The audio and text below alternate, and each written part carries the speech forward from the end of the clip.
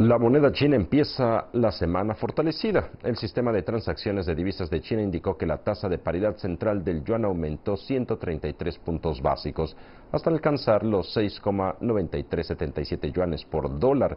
Esta tasa se basa en una media ponderada de los precios ofrecidos por los creadores de mercado antes del inicio de las cotizaciones interbancarias cada jornada de transacción.